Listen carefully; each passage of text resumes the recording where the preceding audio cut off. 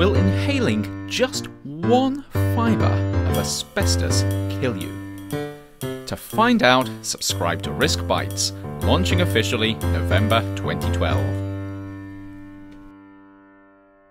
For more information on this and any other video at Risk Bites, please visit www.riskbites.com.